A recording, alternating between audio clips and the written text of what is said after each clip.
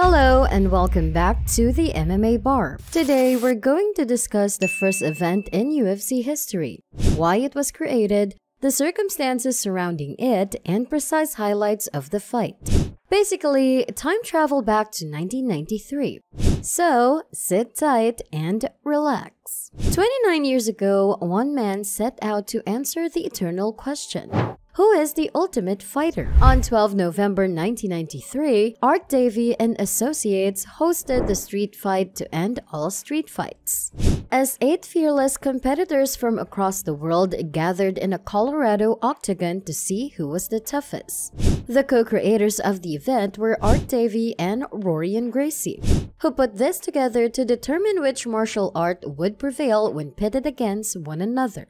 The organizers set about creating the tournament, and although attempted to call it War of the Worlds, they changed the decision and named it Ultimate Fighting Championship, because War of the Worlds was too science fictiony. UFC promoters initially pitched the event as a real-life fighting video game tournament similar to Mortal Kombat and Street Fighter. They wanted it to look brutal on television, so John Milius, one of Rorion Gracie's students and a Hollywood veteran who had directed Conan the Barbarian, decided the fight should take place in an octagonal cage fence with chain link. They wanted people to consider the championship a live televised version of Mortal Kombat. Because the video game was popular and victorious fighters got to finish their opponents through moves such as ripping their spines out of their bodies, this brutal standpoint was a good selling point for the UFC. Davie even suggested that they top the cage with razor blade. Thankfully, this was rejected. With the venue said to be at McNichols Sports Arena in Denver, Colorado, the eight-man roster also began to take shape. Martial artists in savate, kickboxing, taekwondo, shoot fighting, boxing, sumo, American kenpo, and of course, Brazilian jiu-jitsu were booked in. The plan for the eight-man tournament was for the winner to take home $50,000. There was one alternate fight in case one of the tournament fighters were to get injured and need replacing. The beauty of UFC 1 is that nobody seems to know what's going on. The referees aren't sure when to stop the fight, the fighters don't know when to stop fighting, and the main problem seems to not be the lack of rules, but the lack of basic protocol.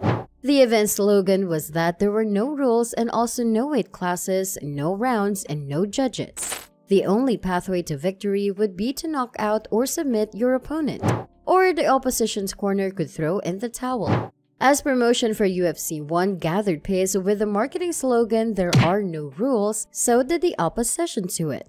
Senator John McCain wanted it banned and branded the concept of a human cockfight. Fighters grab each other's clothes, stomp on their downed opponents, pull their hair, elbow them in the spine, and punch them in the back of the head. Although being billed as having no rules, there were limitations on what the fighters could do, including no biting, no groin shots, and no eye gouging.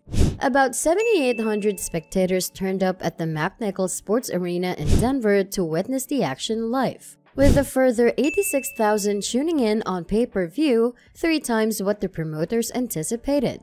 And many more heading to their local video store to rent the tournament on VHS in the aftermath. This is the story of UFC 1 The Beginning.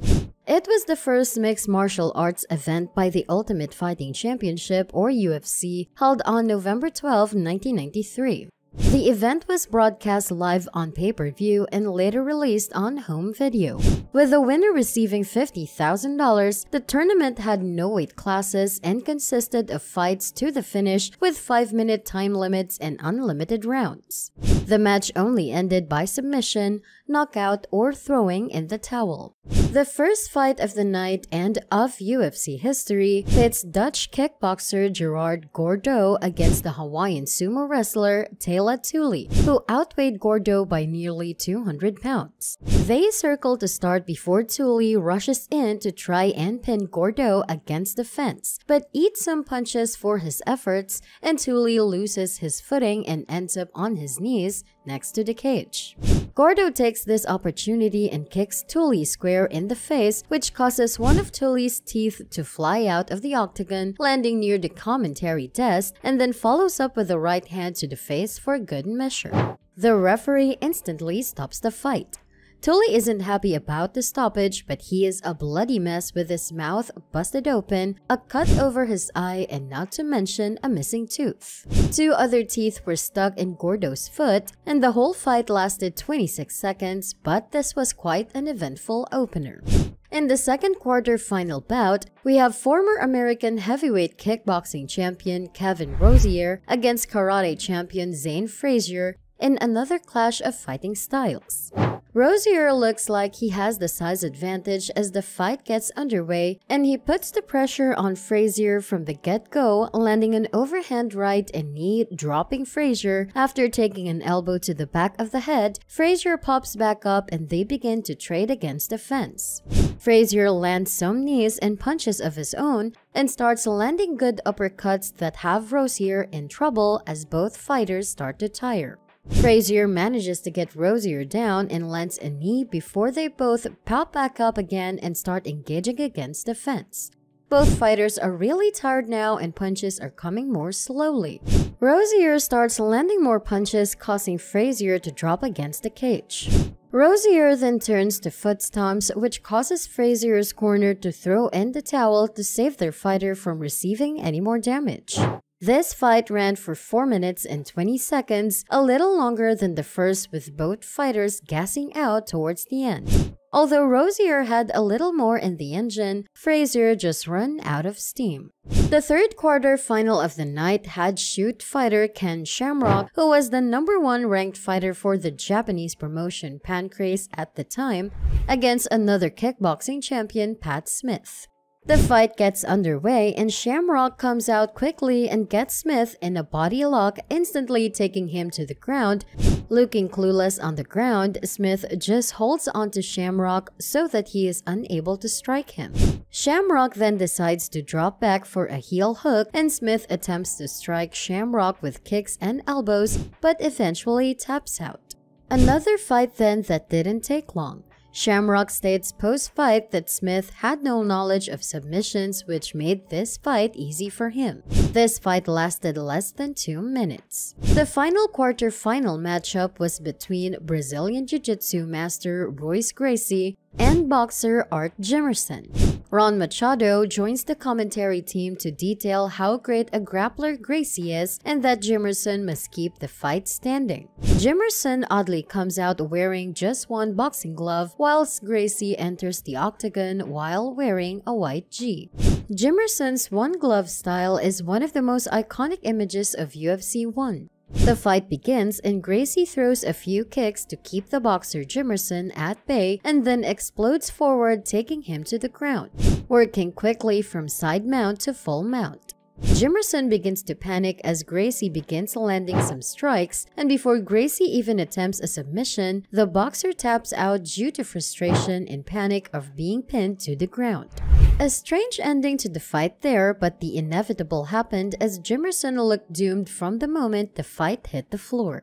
With four of the eight fighters winning, the winning fighters progressed in the competition and it was time for the semifinals.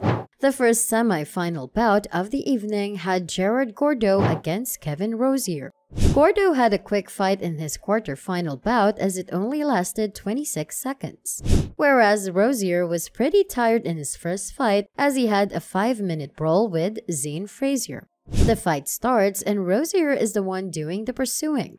Gordeau fires off some leg kicks to keep him at bay, which causes Rosier's leg to buckle. He then follows up with a combination, dropping Rosier. Gordeau keeps his distance but keeps rushing and whenever Rosier begins to climb to his feet. Rosier begins to turtle up and Gordeau lands some nasty stomps causing Rosier's corner to throw in the towel. Yet another short fight here as Rosier came out looking to put away his opponent quickly but was met with the fresh kickboxing skills of Gordeau. The second semi-final fight of the event was a clash between Royce Gracie and Ken Shamrock. This was the most anticipated fight of the evening so far as both Gracie and Shamrock looked to have knowledge of grappling skills and both defeated their opponents quickly in the quarter-final bouts. The fight begins and Gracie looks for the takedown right away. Shamrock defends well and ends up being on top. Gracie lands some heel strikes from the bottom. Shamrock attempts to grab the leg for a submission. But Gracie defends well and now he is the one on top.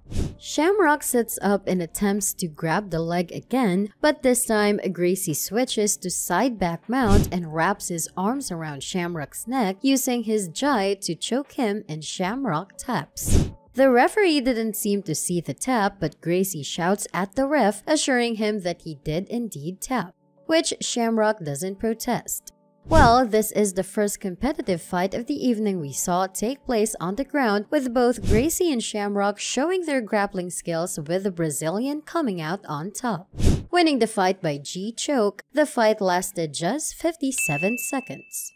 With Gerard Gordeau and Royce Gracie coming on top in their semi-final matches, fans had a very interesting fight on their hands in the final.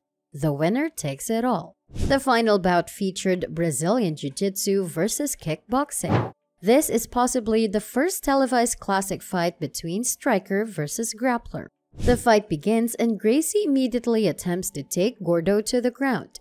The Dutchman defends well and they end up against the fence in the clinch. Eventually, Gracie gets Gordeau to the ground and quickly gains the mount position. He lands a couple of strikes, including headbutts to prompt Gordeau to turn his back. Once his back is turned, Gracie wastes no time in locking up a rear naked choke and taps the Dutchman a few seconds later. This was another short fight for Gracie who made quick work of all his opponents on the night and is rewarded with $50,000. He celebrates with his family in the cage afterward, saying that it was his technique that won him his fights. Gracie is considered the most influential figure in MMA history following his heroics at UFC 1. The Gracie family purposely put forward a smaller man to enter the tournament to highlight their dangerous brand of Brazilian Jiu-Jitsu. At UFC 1, when Royce made his debut, no one thought much about him. He was a small, almost unknown Brazilian fighter. He enjoyed a remarkable night and stunned three bigger and stronger opponents to win UFC 1. Gracie's dominant ground display resulted in three submission victories. The impact he had was monumental and his showings contributed to the movement towards grappling a true pioneer. The event and its outcome catapulted Gracie Jiu-Jitsu, also known as Brazilian Jiu-Jitsu, to new heights in the United States and worldwide. Its gate and pay-per-view buys ensured that there would be more UFCs in the near future, which proved to be the case. Thank you for watching this video. That's all for now. Don't forget to like, subscribe, and hit that bell.